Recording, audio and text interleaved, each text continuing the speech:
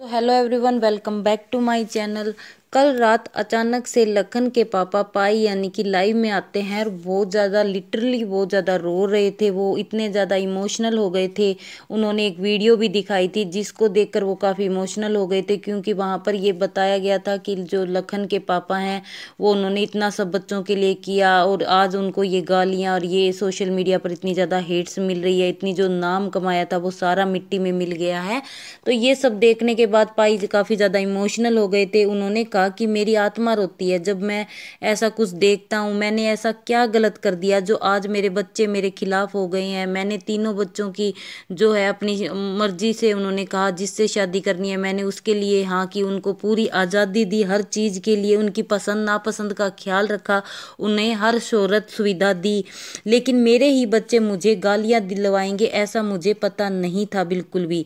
यकीन नहीं होता वैसे मुझे इन सब चीज़ों का, मुझे नहीं पता ये कौन कर रहा है, कौन नहीं कर रहा है, लेकिन मुझे ये पता होता कि मेरे बच्चे ऐसे निकलेंगे तो मैं भगवान से यही कहता कि मुझे, है ना, जन्म ही ना दे, क्योंकि मैं बच्चों के साथ तो कोई गलत नहीं करता, लेकिन मैं खुद को ही जन्म लेने से मना कर देता, यदि मुझे पता होता कि कल जाकर ये बच्चे मेरे ही खिलाफ होंगे। तो यहाँ पर मतलब कुछ वो जो वीडियो चलाई थी, उसमें कीर्ति और लखन की बात हो रही थी कि ये बच्चे गलत है जो आज माँ बाप को रुला रहे हैं। और वहाँ अप्लाई में देखोगे कि कमेंट पे कमेंट यही किए जा रहे थे कि आप इतने बड़े आदमी हो, आप इनकी बातों में मत आओ, आप मत इमोशनल हो, मत रो। पाई को देखने के बाद हर कोई पेरेंट्स है, वो खुद को रिलेट कर रहा था उस चीज़ के लिए कि आज ऐसे बच्चों में क्या हो गया कि वो अपने पेरेंट्स की बात नहीं सुन रहे सोशल मीडिया पर उन्हें ऐसे कमेंट कर रहे हैं, जो भी हो रहा है, ये सही नहीं हो रहा है। यहाँ चाहे लखन हो, कीर्ति हो, नीतू हो, जो भी हो, ये वीडियोस देख रहे हो और आप मतलब पाई का इतना रोना होने के बाद चाहे वो कोई भी फैंस हो सभी से यही कहना चाहते हैं, चाहे वो लखनीत के हो, चाहे वो भम्मू के आप मतलब ऐसे कमेंट मत कीजिए किसी को भी कि उनको हर्ट हो। हम अपने पेरेंट्स की लेकर सोचें कि हमारे पेरेंट्स को कभी ऐसा कुछ होगा तो हमें बुरा लगता है तो सेम वो ही एक फैमिली है। बस यही फ़र्क है कि वो सोशल मीडिया पे है सारे, इसीलिए उनके साथ ये सब हो रहा है। वहाँ उस वीडियो में दिखाया गया था कि पाई है बम्मू है, वो सिर्फ़ अपने मतलब खुशी के लिए सोशल मीडिया पे है तो उनके साथ कोई कंपटीशन नहीं होना चाहिए था।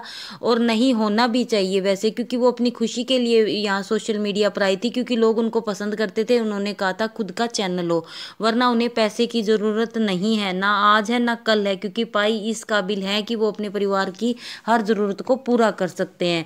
वहाँ अब मैं तो यही कहना चाहती हूँ, चाहे वो लखन हो, चाहे नीतू हो, यदि गलती हो भी चुकी है तो एक बार उन्हें माफ़ कर दे अपने पेरेंट्स को, या पेरेंट्स से गलती हुई है तो अपने बच्चों को माफ़ करके पूरी फैमिली एक हो जाए, क्योंकि इस लड़ाई में बदनामी फैमिली की हो रही है, चाहे वो बच्चे कुछ कहे या पेरेंट्स कुछ कहे, लेकिन नुकसान दोनों तरफ़ से इसी परिवार का हो रहा है। तो सभी से यही अनुरोध है कि आप भी यदि किसी के फ़ैन हो तो ऐसे कमेंट एक तरफा मत कीजिए। आप यही उम्मीद कीजिए कि पूरी फैमिली एक हो जाए।